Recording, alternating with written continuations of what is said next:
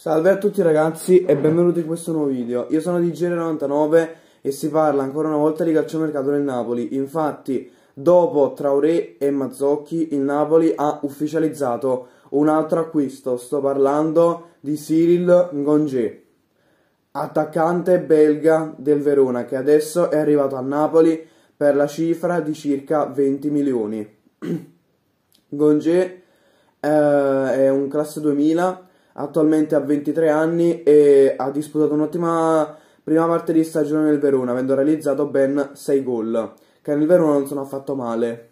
Adesso si trasferisce al Napoli, appunto come detto per 20 milioni, e diciamo che Ngongé è un attaccante molto duttile, perché può giocare sia come esterno sinistro che come esterno destro, ma anche come trequartista. Infatti nel Verona copre il ruolo di trequartista o seconda punta, quindi è un calciatore molto duttile che può ricoprire molti ruoli e diciamo che personalmente a me Ngonge piace, però ha qualche difetto. Diciamo che il difetto principale di Ngonge è la discontinuità. Cioè nel senso che Ngonge alterna grandi partite a grandi errori, per esempio uh, ha fatto un gol straordinario in rovesciata contro l'Udinese, però per esempio proprio contro il Napoli uh, sbagliò un gol clamoroso all'ultimo minuto che avrebbe fatto vincere il Verona, quindi diciamo che Gonge è un giocatore molto talentuoso, molto promettente, che però deve ancora migliorare tanto e secondo me il Napoli è una squadra in cui può benissimo farlo.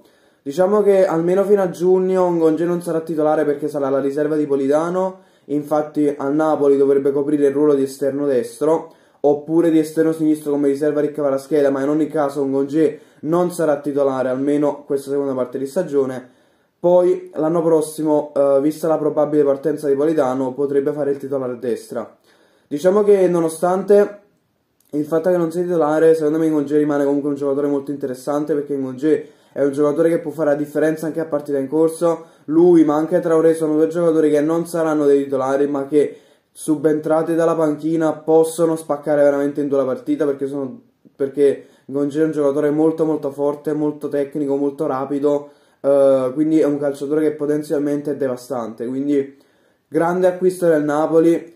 Adesso però secondo me servirebbe anche un centrocampista difensivo e un difensore centrale perché se Mazzarri vuole, vuole passare al, al 3-4-3 a mio parere servirebbe un difensore centrale in più e anche un centrocampista difensivo in più come riserva. Fatemi sapere la vostra ragazzi su Gonge, ci vediamo in un prossimo video.